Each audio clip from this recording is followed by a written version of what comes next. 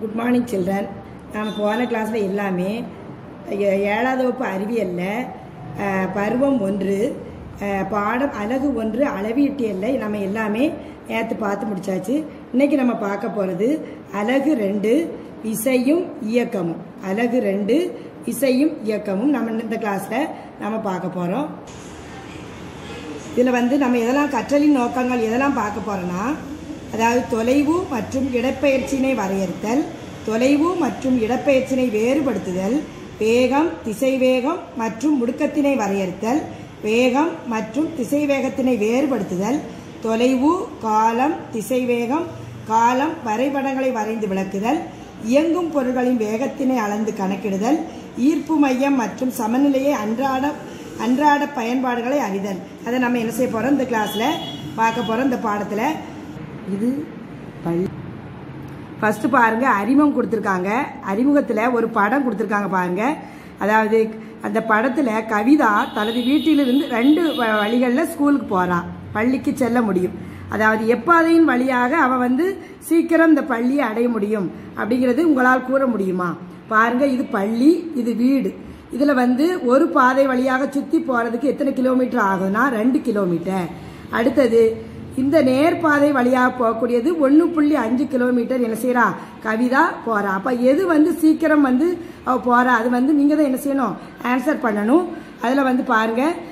ஒன்று புள்ளி அஞ்சு கிலோமீட்டர் தான் அவன் என்ன செய்கிறான் நேர்பாதையின் வழியாக பள்ளிக்கு செல்றது அவன் சீக்கிரம் என்ன செய்கிறான் குறைந்த அளவு தூரத்தை பள்ளிக்கு செ- செல்கிறாள். இதை நீங்கள் என்ன செய்யணும்?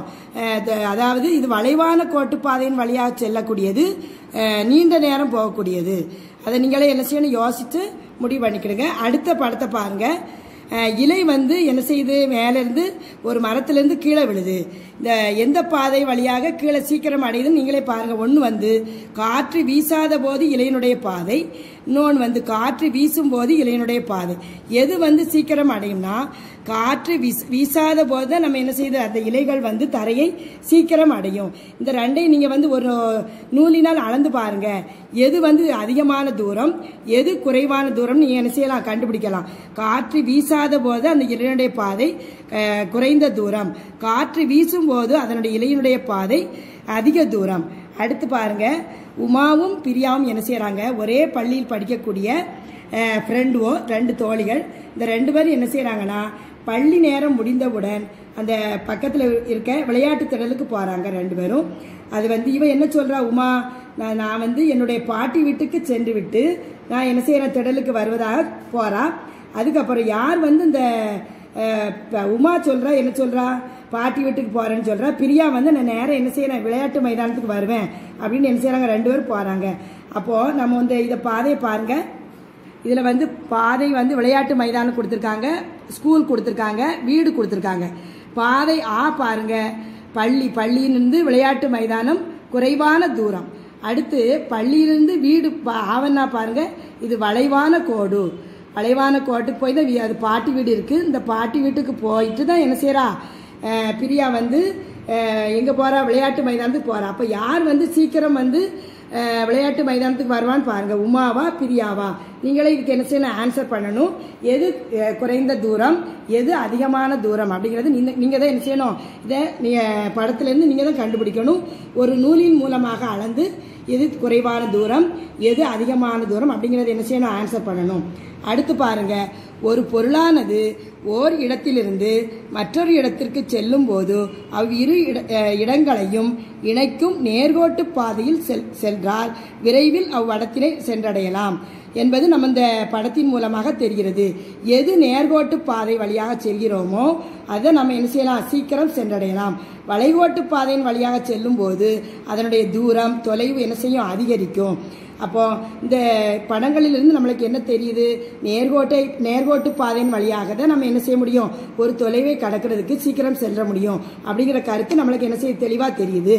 அடுத்து நம்ம பார்க்க போகிறது தொலைவு மற்றும் இடப்பெயர்ச்சி. தொலைவுனா என்ன? இடப்பெயர்ச்சினா என்ன? அப்படிங்கிறத பற்றி நம்ம இந்த இதில் பார்க்கலாம்.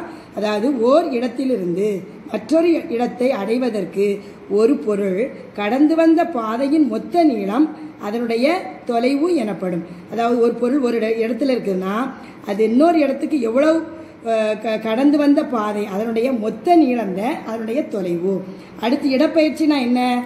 ஒரு பொருளின் இயக்கத்தின் போது அதன் துவக்க நிலைக்கும் இறுதி நிலைக்கும் இடைப்பட்ட இடையே உள்ள மிக குறைந்த நேர்கோட்டு தொலைவு இடப்பெயர்ச்சி. இடப்பெயர்ச்சினா அதாவது ஒரு இடத்திலும் துவக்க நிலைக்கும் இறுதி நிலைக்கும் உடைய நேர்கோட்ட பாதையின் வழியாக செல்லக்கூடிய தொலைவு தான் அதனுடைய இடப்பெயர்ச்சி.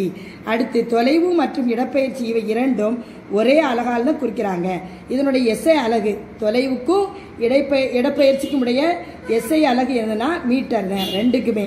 ரெண்டுக்குமே எஸ்ஐ எஸ்ஐ அலகு மீட்டர் அடுத்து இந்த படத்தை பாருங்க. இந்த படத்தில் வந்து ரெண்டு புள்ளி குறிச்சிருக்காங்க. ஒன்றாவது ஏ ரெண்டாவது பி இது வந்து நேர்கோட்டு பாதை. இந்த ஏயிலிருந்து பி என்ற இடத்திற்கு மேற்கொள்ள மேற்கொள்ளும் இயக்கத்தை பாருங்க. இது எத்தனை கிலோமீட்டர் போட்டிருக்காங்க? ஐந்து கிலோமீட்டர். அதுக்கப்புறம் ஏயிலிருந்து பி இந்த வளைவான பகுதி எத்தனை கிலோமீட்டர்னா? ஏழு கிலோமீட்டர். இந்த ஏயிலிருந்து இந்த மேல்கோட்டு பாதை பாருங்கள் இது இந்த வளைவாக வளைவான கோட்டை நோக்கி இந்த பிஏ அடையக்கூடியது பத்து கிலோமீட்டர். அப்போது எது சீக்கிரம் போகுது? ஐந்து கிலோமீட்டரா? ஏழு கிலோமீட்டரா? பத்து கிலோமீட்டரா? இந்த ஐந்து கிலோமீட்டர் பாதையில் நம்மளுக்கு என்னது? ஏயிலிருந்து பியில் பிஐ நோக்கி வரும்போது சீக்கிரம் நம்ம இதனுடைய இதனுடைய தொலைவு சீக்கிரம் நம்ம என்ன செய்யலாம்? பியை அடையலாம்.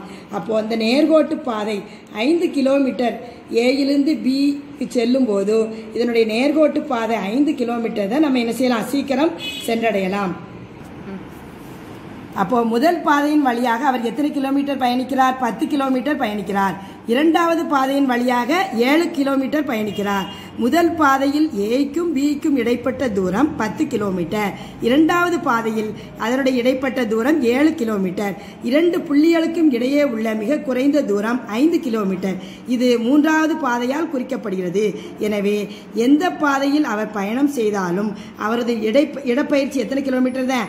ஐந்து கிலோமீட்டர் தான். அப்படிங்கிறது இந்த நம்ம படத்துலேருந்து நம்ம என்ன செய்கிறோம் தெரிஞ்சுக்கிறோம்.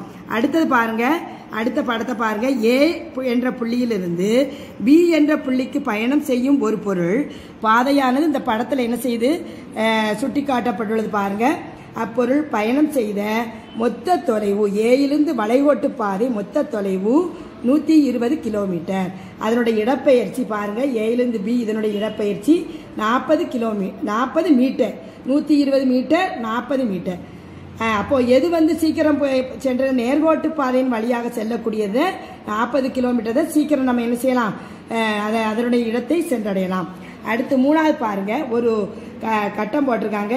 இதில் வந்து முயல் வந்து ஒரு ஓடிய பா முயல் இருக்குது இந்த முயல் வந்து ஓடிய பாதை கேட்டிருக்காங்க பாருங்கள் ஒவ்வொரு கட்டமும் ஒரு சதுர மீட்டர் கொடுத்துருக்காங்க. ஏயிலிருந்து பிக்கு இது வளைவு வளைவான தொகை பாருங்கள் ஃபஸ்ட்டு படத்தை பாருங்கள் அதாவது இந்த வளைவு இப்படி சுற்றி என்ன செய்யுது இந்த முயலானது ஏயிலிருந்து பிக்கு இப்படி போகுது. பாருங்கள் பிஐ சென்றடையக்கூடிய தூரம் வந்து எத்தனை அப்படிங்கிறது இந்த கட்டத்தை நம்ம எண்ணணும்.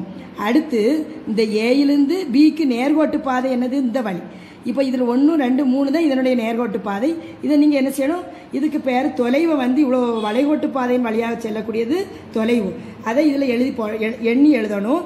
அடுத்து இடப்பயிற்சி இந்த நேர்கோட்டு பாதை தான் இடப்பயிற்சி ஒன்று ரெண்டு மூணு. மூணு தான் இந்த இடப்பயிற்சி வரும். தொலைவை நீங்கள் என்ன செய்யணும்? எழுதி எண்ணி போட்டுக்கணும். அடுத்து இந்த ரெண்டு இந்த படத்தை பாருங்கள் ரெண்டாவது படம். இதுவும் அதே மாதிரி தான் ஏயில் ஏயும் பியும் கொடுத்துருக்காங்க. இந்த முயல் வந்து ஏயிலிருந்து வளைவான தூரம் இந்த மாதிரி சுற்றி வரக்கூடியது. சுற்றி வரக்கூடிய பியை சென்றடையக்கூடியது இந்த தூரம். இதுக்கு பேர் தொலைவு. இதை எண்ணி நீங்கள் போடணும். அடுத்து ஏயிலிருந்து பிக்கு பாருங்கள் இடப்பயிற்சி ஒரே ஒரே ஒரு மீட்டர் தான் வருது பாருங்கள் ஒரு கட்டம் அப்போ அதோட இட இடப்பெயர்ச்சி ஒன்று தான் அப்போ எது சீக்கிரம் வருது? எது வந்து தொலைவு என்ன செய்யுது? தூரமாக சுற்றி வருது. இடப்பெயர்ங்கிறது ஷார்ட்டாக வரக்கூடியது. அதுலேருந்து படத்துலேருந்து நம்மளுக்கு என்ன செய்யுது? இதனுடைய தொலைவு இடப்பெயர்ச்சியை நம்ம என்ன செய்யணும்? எண்ணி எழுதணும். அடுத்து பாருங்க.